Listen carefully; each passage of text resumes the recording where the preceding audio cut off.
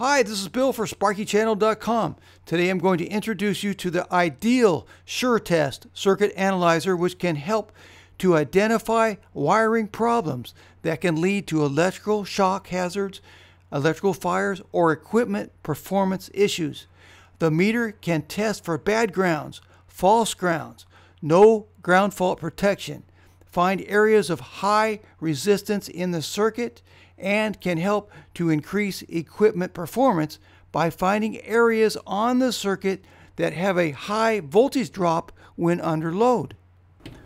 First, I'll demonstrate wiring verification. You plug the extension cord into the top of the meter and plug it into a receptacle.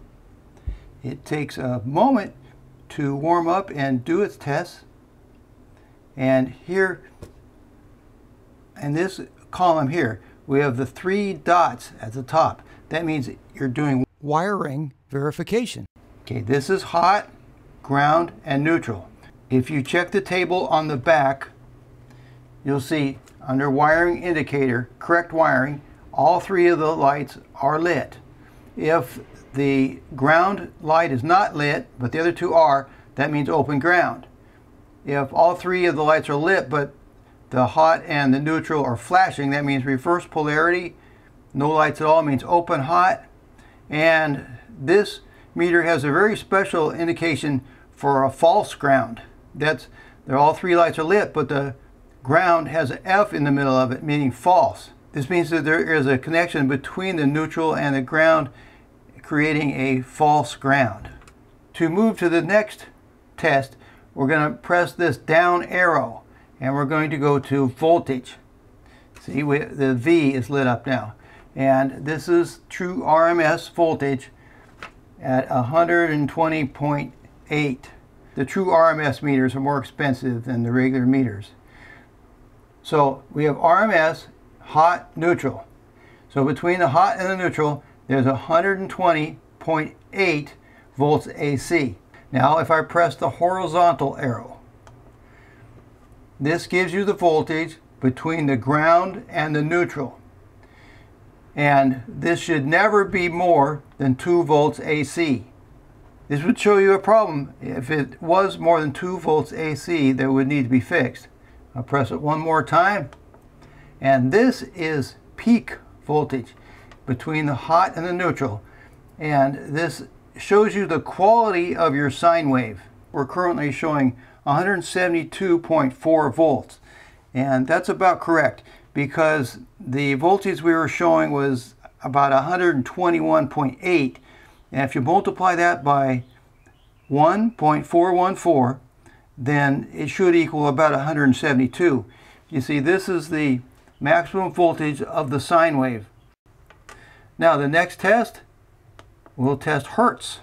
And here in the United States, the Hertz should be 60.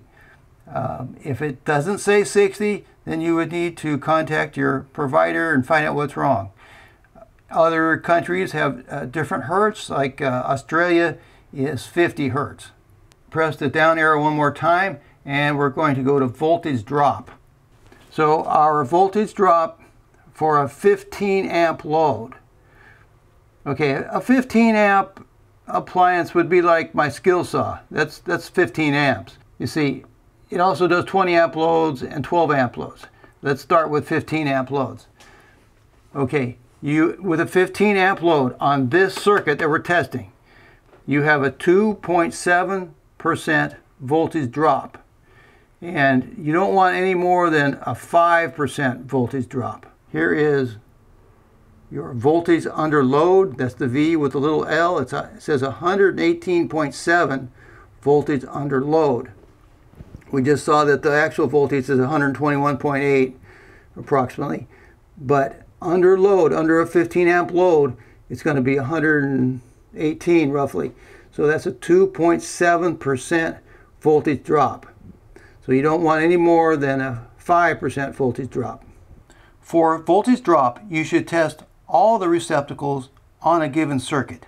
The last receptacle on the circuit should have the greatest voltage drop because the wiring run is the longest to that point. Some things that can cause a voltage drop would be too much load on the circuit, in which case you might want to take something like an air conditioner or a blender or something off of that circuit and put it on another circuit. So you, you would redistribute the load. Undersized wire for the length of the run can cause a voltage drop. Another cause of voltage drop is high resistance connection within the circuit or at the panel. So then you would have to locate the area of a loose connection and repair or replace. And you can see when we change the amperage of the load, okay, we just changed that to a 20 amp load, that increases the voltage drop. If you decrease the amperage of the load, that decreases the voltage drop. Now we'll depress the downward arrow another time, and this brings us to amperage. And we have ELL. That means estimated load online. And this is a very handy feature. It tells you how many amps are currently in the circuit. Now right now we're using one amp. Uh, there's probably something plugged in on another receptacle that's using a little bit of current draw. Now I have a toaster oven that I will plug into this receptacle as well and it's on. Okay, now it went right away to 13 amps. Okay, so that means that currently this circuit is drawing 13 amps. And up here we have 13 EL. So the electrical load is 13 amps. Uh, this is an estimate, it's not exact. To be exact, you would need to go to the main panel and use a clamp meter, but this is a pretty good test right here. Uh, 13 amps. If I unplug the toaster oven, okay, it goes back down to 1 amps. But the meter remembers the highest electrical load that occurred just a moment ago of 13 amps electrical load. You can actually plug this unit into any receptacle in the circuit and find out how many amps approximately are being used in that circuit.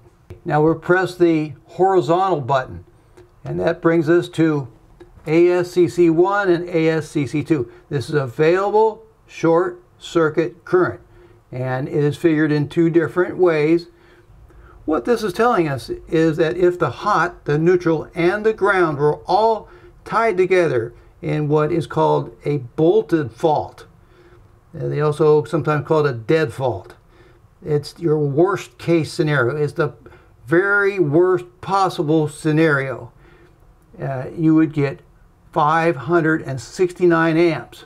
So your regular 20 amp or 15 amp circuit breaker is typically rated to trip at anything below 10,000 amps.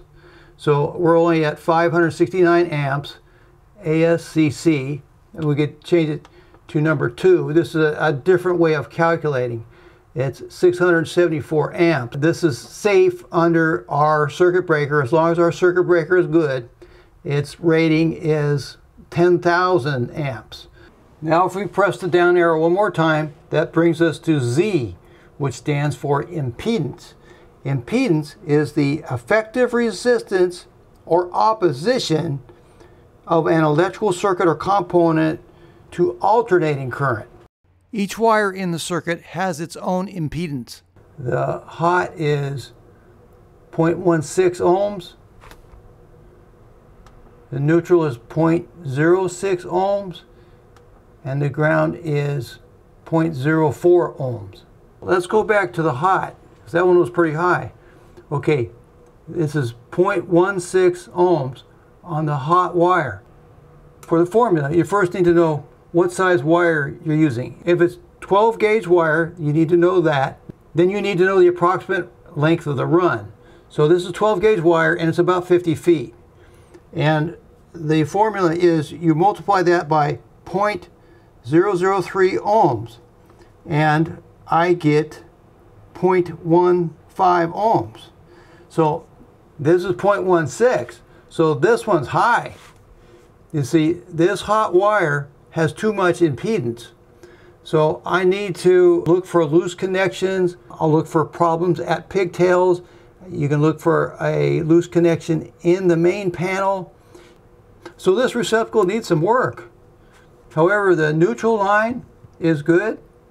Uh, there's, there's not very much impedance in the neutral line, and the ground is excellent. The rule of thumb is that you don't want more than one ohm of resistance in the ground wire. So the ground's excellent, the neutral's excellent, but the hot needs work. So this is an example of this meter telling you some very important information. To test the GFCI, press the GFCI button once. And here we have the GFCI screen, GFCI being highlighted. It says 7.4 milliamps. So the test that we are going to do um, needs to be between 6 milliamps and 9 milliamps of leaked current between the hot and neutral conductors. So here we have 7.4 milliamps right between the uh, 6 and the 9 milliamps, which is just right. So what we do is press the GFCI button, and that did trip the GFCI outlet. So now I'm going to reset it. Okay, so it tripped in 118 milliseconds, and the leakage current was 7.4 milliamps. This time we're going to go to EPD, which stands for Equipment Protective Device. Okay, now we're on EPD. And the amount of milliamps that's going to be leaked between the hot and the neutral conductors is 30.8 milliamps. This is a test for, as it says, equipment protective devices. These are devices that are meant to protect equipment only. So if I had an equipment protective device that I would like to test at uh, currently 31.1 milliamps, I would press the GFCI button and it would perform that test. In conclusion, I think that this ideal sure test circuit analyzer is fantastic. It gives a great deal of information about an outlet and about the circuit that it is in. This will be really helpful for troubleshooting a variety of electrical problems. I'll put a link in my video description for the ideal Sure Test circuit analyzer. I'll put a link for the ideal alligator clip adapter for Sure Test circuit analyzers and for the ideal ground continuity adapter for Sure Test circuit analyzers. Also, I'll put a link for the ideal circuit breaker finder, which includes an excellent receptacle tester. Thanks. I hope this video was helpful.